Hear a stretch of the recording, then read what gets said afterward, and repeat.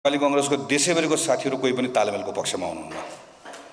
पार्टीका साथीहरू पनि हुनुहुन्न समर्थक पनि हुनुहुन्न शुभेच्छुक पनि हुनुहुन्न मतदाता पनि हुनुहुन्न। नेपाली कङ्ग्रेस पार्टीको मैले धेरै पहिलादेखि उठाउँदै आएको विषय हो यो। नेपाली कङ्ग्रेस पार्टीको यसको हाम्रो बनौट यसको पार्टीको मतदाताहरूको मनोविज्ञान यसको स्वभावै बरु निर्वाचनमा हार्नु पऱ्यो हारौँला। केही छैन निर्वाचनको जितिन्छ हारिन्छ। तर राजनीति भनेको यसको यो विचारसँग जोडिएको हुन्छ। त्यसैले मतदान पनि कहीँ न कहीँ त्योसँग जोडिएको हुन्छ। त्यसैले निर्वाचन पछाडि आफ्नो बहुमत नपुग्दै गर्दा कोहीसँग मिलेर सरकार बनाउने भन्ने कुरा संसदीय व्यवस्थामा स्वाभाविक हो। कहिले सरकारमा हुन्छौँ कहिले बाहिर हुन्छौँ।